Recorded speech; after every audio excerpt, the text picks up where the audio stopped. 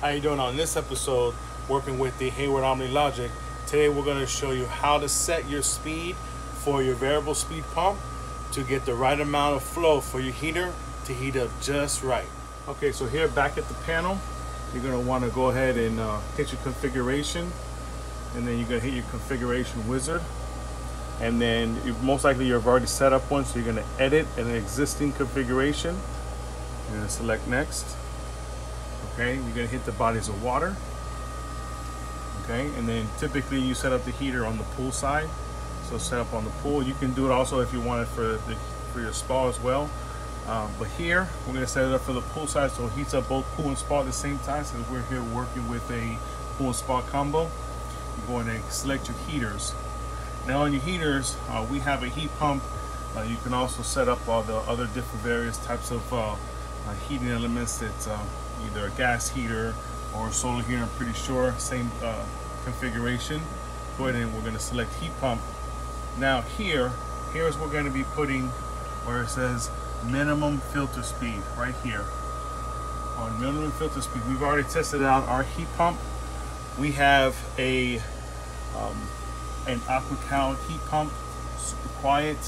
So currently right now we have it running at 60% of uh, speed which for this filter pump uh, this VS pump that we have and all motors the maximum that they run on is 3450 so to figure that out all you simply do is is take your 3450 multiply it by the 60 percent and then you're going to get your figure. This one right now is running at 2070 rpms in total which is just a little bit more than than half of the speed that this is running so we're to go ahead for this one we're going to uh, lower this down a bit and we're to be setting it i've already wanted it at around 1828 so that's right around 53% that we're to be setting this filter pump back. So we're to go ahead and hit our home back button and then we're to press save. Yes, we want to save these new configurations. So as it goes through the saving mode, you will see that the panel will go ahead and uh, shut down. There it is. And then our pump will shut down. a little bit. So basically the reason why we're doing this is because we want to make sure that we're not uh, rushing the water through the heat pump and we're allowing the heater to really uh, heat up the water as it's passing through. So right around that um, that RPM here, there it goes, it stopped. Right around that RPM, and you could test this out. We've already noticed that with our heat pump, the minimum amount that we're gonna need for the water to hit the uh, the flow sensor on the inside of the heat pump is around 1650 RPMs. That's about the minimum that uh, we're needing to flow through this heat pump. So we're gonna set up just a little bit more to get a little bit more flow within the pool. It's priming up now and um, a little bit more through the pool and so that, to still allow our vacuum cleaner to run. So there's different variables that you have that you want to set up your um, your speeds for your variable pump, uh, variable speed pump. Uh, heater is one section. Um, if you're not heating up the pool, do you have a pool and spa combo? You want to bump it up a little bit more during the day to get that flow. Uh, second thing, you have a uh, automatic suction vacuum cleaner on the on, on line, an independent line, you need to have that at a, at a certain amount for the for the vacuum cleaner to run.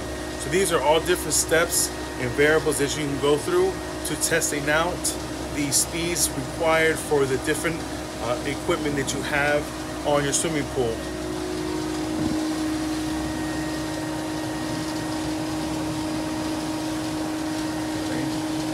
Right now. It's heating up and then you can go through on your app and when you select right now it's primary I don't have the heater selected but on your app once you go ahead and you select heater you're gonna notice that it's gonna override your schedule and it's gonna go to that specific speed that you had set at so that you're gonna continuously keep um, heating up your pool at that speed that you have already preset. Hopefully you like this video and we brought some knowledge and some information to you that you're a little bit more educated regarding the Hayward OmniLogic uh, versus a variable speed pump, the speeds to set it at for the different equipment that you have.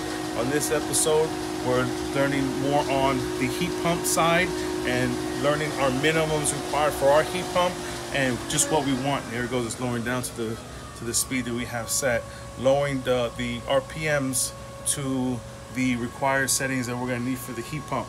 Thank you so much for watching this video. Like and subscribe my page, give me the thumbs up. Uh, hit that red subscribe button for me, please. We need all your support and hit the bell notifications to be notified on the next time that we upload our next video. Again, on to the next one. Bye.